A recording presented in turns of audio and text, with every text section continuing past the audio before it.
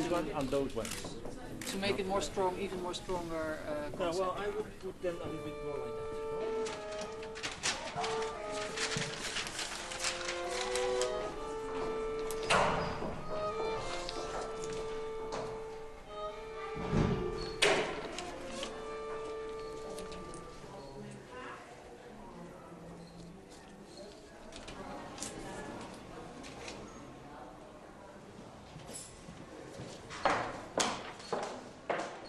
Wij hadden het idee dat er een eh, positief advies van welstand zou komen. Dat, dat hoorden wij, hè, de afdeling communicatie. Toen belde ik de woordvoerder van Stadsdeel Zuid voor iets anders. En die zei, weet je al het nieuws van welstand? Ik zeg, nee, ik weet het nieuws van welstand niet.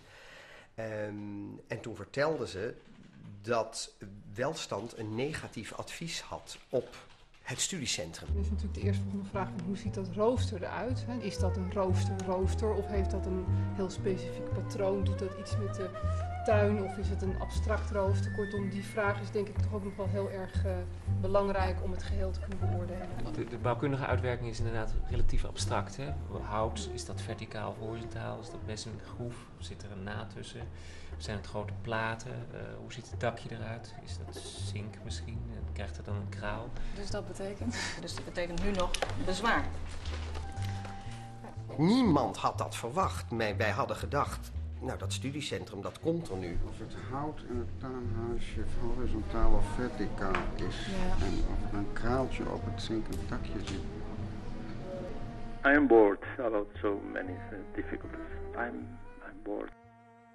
This kind of process in which uh, nobody wants to take a risk, this is too Dutch for me. I don't know.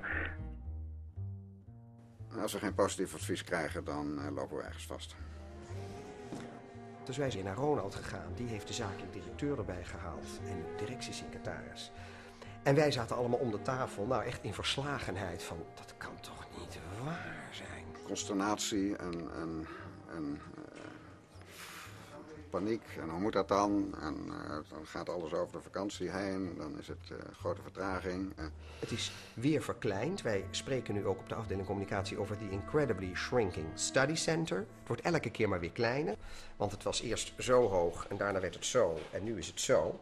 Voor een directeur is het natuurlijk nooit leuk als een project niet helemaal loopt zoals hij had gedacht dat het zou lopen. Het is, het is alweer opgeschoven inderdaad, na de laatste keer dat we elkaar Ja, en het gaat nog weer opschuiven, geloof ik. Dus, ehm, Gaat het weer ik op? hoorde- nou, wat, wat heb jij gehoord nu als laatste? Ja, eh, Volgens mij wordt het nu najaar 2010. Of is het nu voorjaar 2010? Ja, ik, ik weet het, ik, ik ben het gewoon even kwijt ook. Het is, ik, ik heb besloten er ietsje luchtiger over te worden, omdat als je daar maar per maand je gaat opwinden, ik bedoel, het zijn geen dingen waar we wat aan kunnen doen. Het zijn allemaal dingen die met het traject te maken hebben, of- bouwkundig of met eh, vergunningtechnisch. Ik heb hierbij met de aanvraag voor de bouwvergunning, de aanvraag voor de monumentenvergunning, de aanvraag voor de milieuvergunning, de aanvraag voor de kapvergunning. Dat zijn maar enkele van de vergunningen die wij in dit traject nodig hebben, want het totale aantal is geloof ik eh, onbeschrijfelijk groot. Wij zijn blij dat de aanvraag nu binnenkomt. We hebben hem net aangepakt en dat geeft ook aan dat wij gaan aanpakken als stadsdeel. Grappenderwijs zijn we net al even, alle verloven zijn ingetrokken, want wij gaan nu een jaar lang ontzettend hard aan de slag. Ik heb alleen het gevoel dat in de beeldvorming naar buiten moet je niet iedere vijf minuten met zo'n vertragingsbericht komen. Dan krijg je, en dat wordt het file, dagelijkse filebericht.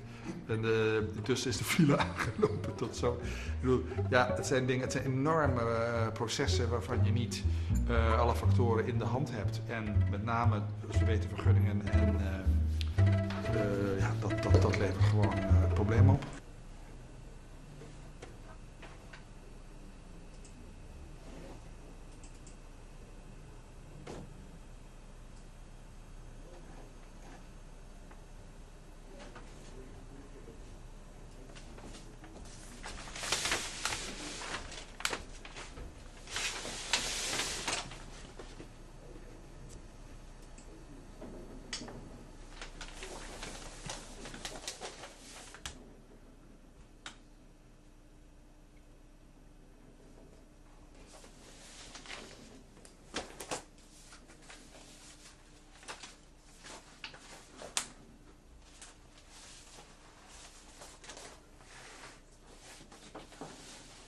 Voor mijzelf is het gewoon heel lang wachten. Ik zing eh, heel vaak het lied van Hildegard Kneef. Dat geluk kent minuten, de rest is warteraum. ik zit een beetje in de wachtkamer soms, ja.